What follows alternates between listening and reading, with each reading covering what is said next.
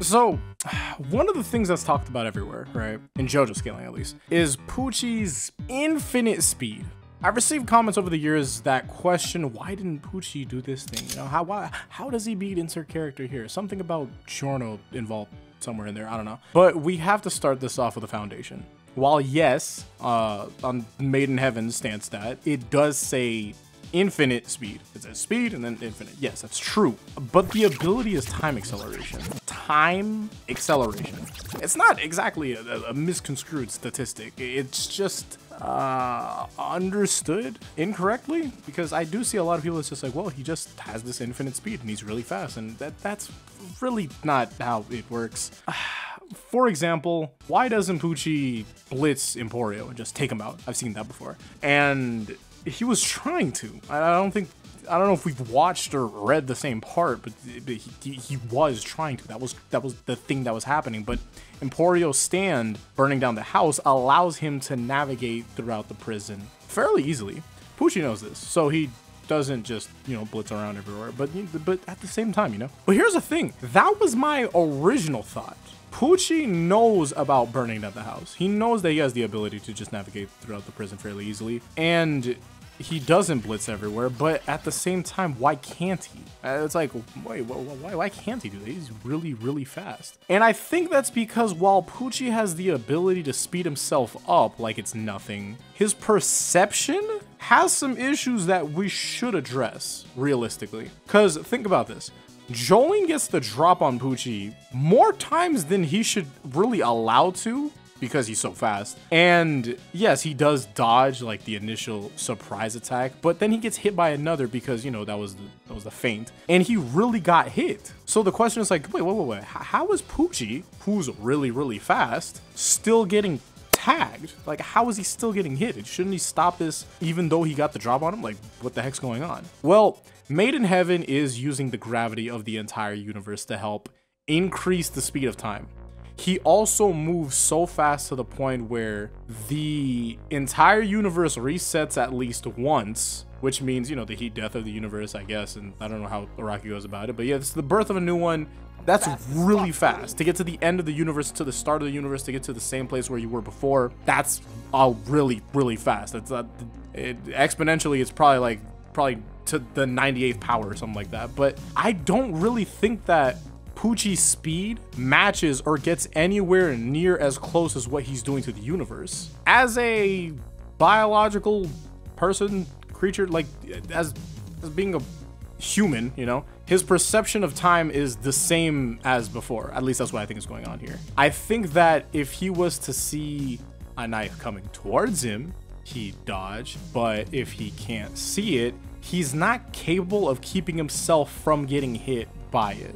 And you might think, well, obviously, you know, like, well, well, duh, yeah, if he got hit, he got hit. Well, consider this, you know, if it was someone like The Flash, and I understand that that's like really unreasonable because it's just like, oh, Flash is the fastest thing ever. Uh, say that he got hit, like he got caught by something off guard, right? He'd still have the speed to stop it from happening and it wouldn't happen. At least there's, you know, like with the most ideal version of the, the Flash, no uh, writing stuff happening and all that. That's the case.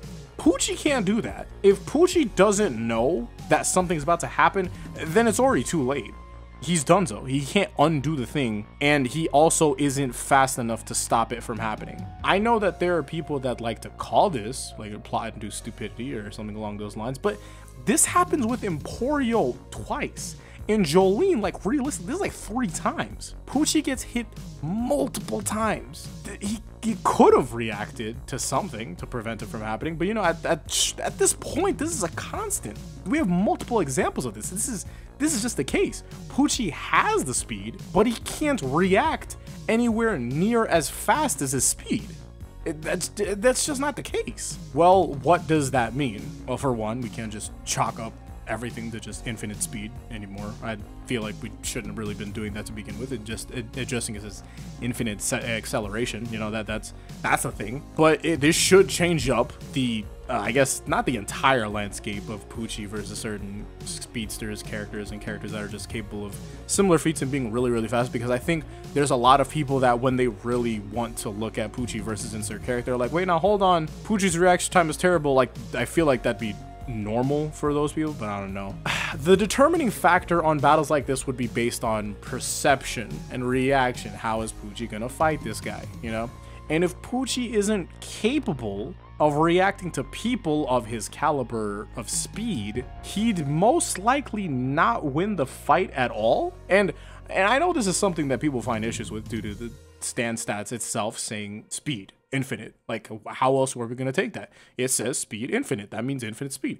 But we've gone to a point where we must consider that some of these stand stats really are just the stands stats rather than just like oh this is all together this is everybody oh we're all encompassing the stand user and the and the users the stand they're all the same thing no you know Jobber brought this up with Gold Experience Requiem, and I honestly can't be that surprised if this is the case with Made in Heaven too, because while yes, it has infinite speed with the ability to manipulate the universe itself to that extent, it's not covering Pucci's blatant mistakes, right? One of the biggest things that we should be able to take note of is the rest of the stats too, if we're being honest, because you know his durability hasn't really improved like that. You know? And he doesn't just get infinite stamina either. Like, like, like, let's really remember that. Jolyne was talking to him for real.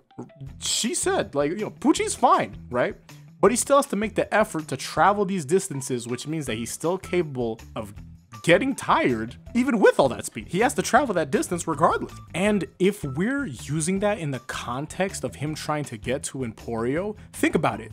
That man is gassed, dog. He's tired. Even in the panel, you can see like the air bubbles around him. He's tired. He's winded. He's actually tired. Angry also, and trying to find something. Like imagine this, the state of this man. Imagine you, right? Getting home from work and you, you or school, you know, and you have to just catch a mouse. It's just running everywhere. It's just like, oh man, oh, it's bouncing off the walls. Oh, I have to go do this thing. I'm already frustrated. It's not the best state of mind, you know? That image, hilarious. Uh, and I swear I'm not trying to downplay Pucci here, but you really have to put these types of things into question. I think we're at this point in JoJo scaling where while we do have these easiest picks for strong contenders, oh, okay, Wonder of You, shout out to Meta, we have Star Platinum, the world and King Crimson strong too and yada yada yada. But we should really consider the very few feats that we have for these characters. Like a lot of JoJo's characters one of the bonus things is like, oh hey, it's great because like, oh man, you, you don't really have to the stories are in their own thing. You know, you don't have, a lot of time you don't see characters again and again like that. At least core ones and sometimes because they die but because they have such few feats we should be really examining them because it's just like wow these we're not really working with a lot here. And i understand that you know while jojo isn't a dragon ball type of thing and everyone wants to have their characters that win these scenario battles against each other it's good but we shouldn't be against the changing minds here or at least I don't know. You don't have to change your mind. I don't really know. It's your choice, though. You don't have to do anything. But uh, there's a lot to look at. I think so. We should probably look into a lot of these stands once again to really evaluate how much damage is this character really doing. I think that'd be the right thing to do. But I'm out of script. You're out of time. Hopefully, I'll see you all in the next one. Thank you all for watching. It means a lot to me, and you heard me talk about Pucci. I don't, I don't want to say extensively, but it's a good amount, I guess. Uh, hopefully, I'll see you all in the next one. Until then, peace out and Godspeed. But the ability is time acceleration.